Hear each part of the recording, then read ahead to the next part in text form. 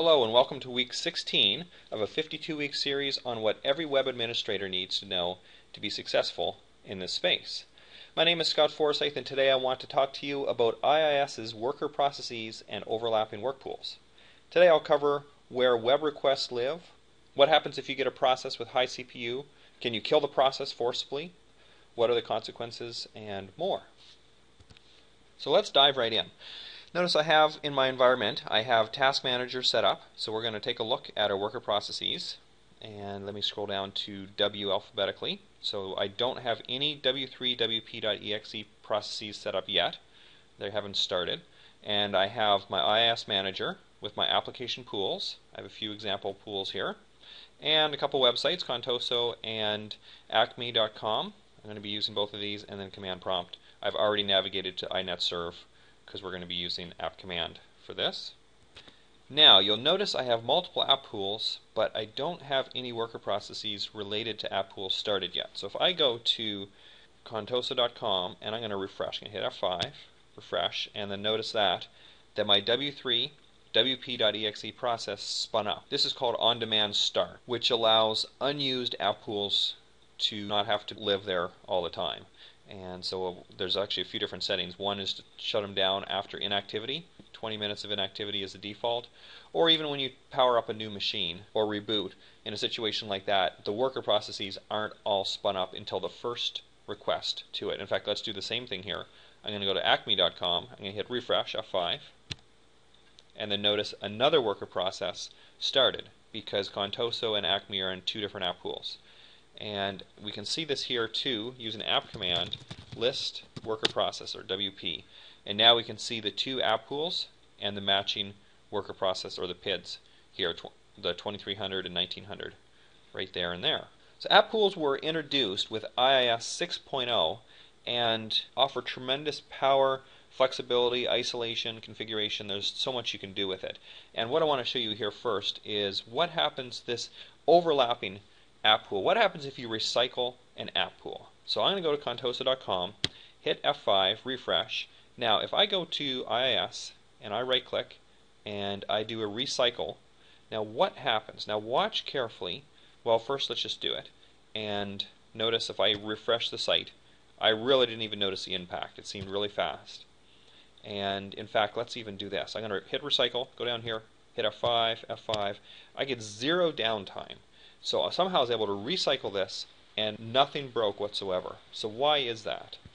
The way that IIS handles this is by having a new worker process will spin up and then until it's completely marked as healthy and ready to take new requests and only after then will the previous worker process shut down. It's called overlapping app pools or overlapping worker processes. Now it is possible for a timeout to occur if you have a really long running request on the first one, you do a recycle. The first or the original worker process will not shut down until it's finished its requests or the timeout has been reached, which is 90 seconds by default, and that's configurable.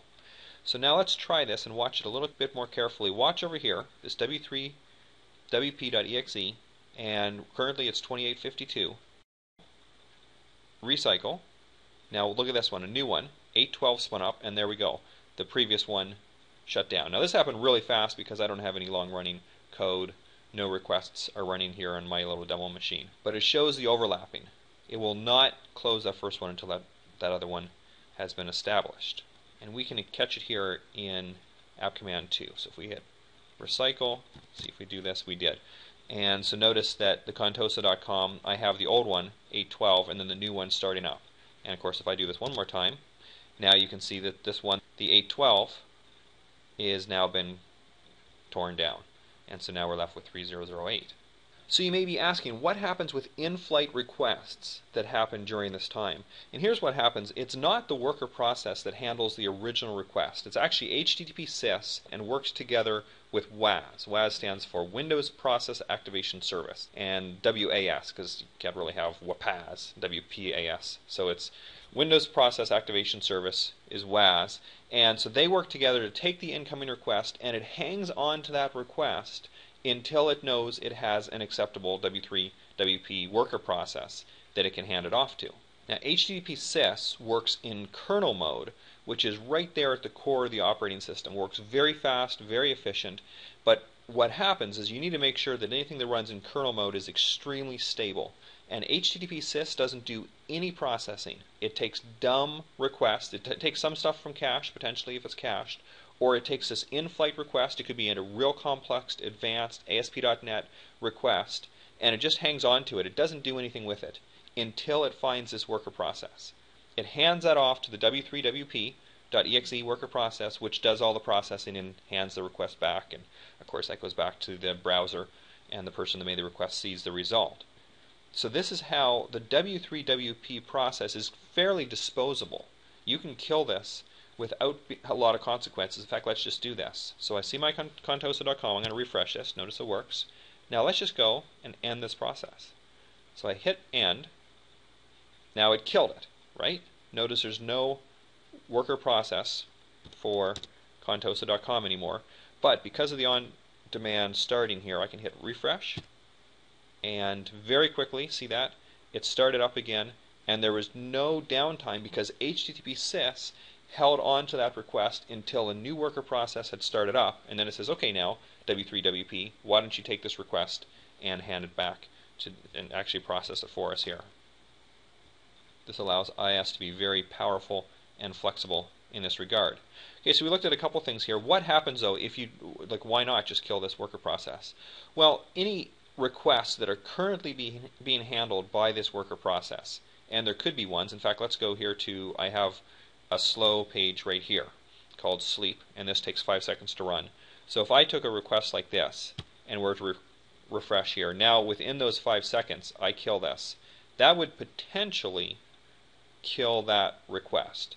Now in my example, HTTP sys is kind of smart enough to know to hang on to it and re-request it, but that's not always going to be the case many times if you kill that, there's some consequences. Also, there's some shutdown code if you're using application end in ASP.NET, for example, or various different framework environments.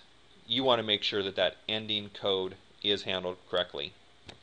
Also, there's more that that's handled within this W3WP process than simply handling the requests.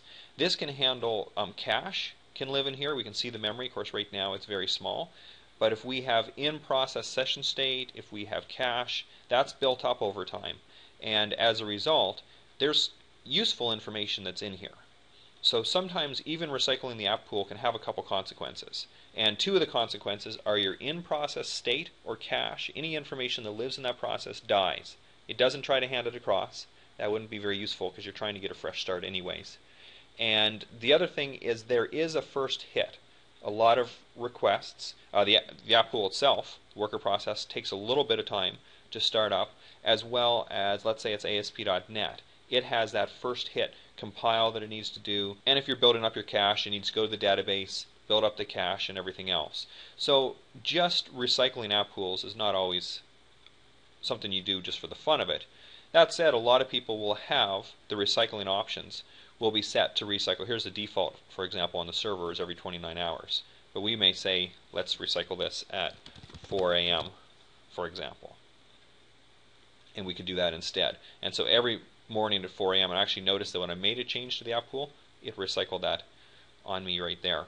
So do, be careful you don't make a change like that in production during the day. So recapping this, if you want to recycle an app pool, right click and recycle, Notice that you have your overlapping benefit. A new one starts. There you go, it finished. And that was a real graceful handoff. Don't just kill it here unless you have to. Another thing is, let's say you have something with a real high CPU. This is pegging the CPU, 100% CPU here. I go and I hit recycle, and I recycle, and I notice it's still there. It's hanging on to the CPU. Well, the default timeout is 90 seconds. It's purposely going to try for 90 seconds to finish all requests that are sitting in this worker process. It's kind of polite. It doesn't want to just kill it on us. And so as a result, if wait for 90 seconds, and it should close this one down, and all new requests will be handled in the meantime there. It can have requests going to both at the exact same time. But if it's affecting other things on your server and you feel it's worth the impact, you can go to this worker process, hit end process, and kill it. And that's not going to hurt the core of IIS. You're completely fine to do that. You've just thrown away any in-process memory and you've thrown away any requests that were currently being processed. Apart from that, there really isn't a consequence to killing that worker process. And the final note I wanted to make today is that the changes you're making here are what's called RESCA Runtime Service Control API, which means if you do a recycle on, let's say you have a web farm with three nodes, and I recycle this particular node, this only touches this particular server. Same with starting and stopping app pools and starting and stopping websites. Those changes aren't made to all other nodes. It's just made to this one. So don't assume that you can hit recycle even if you're using shared configuration and it applies to all nodes. And actually that's a good thing in almost every situation. So thanks for tuning in.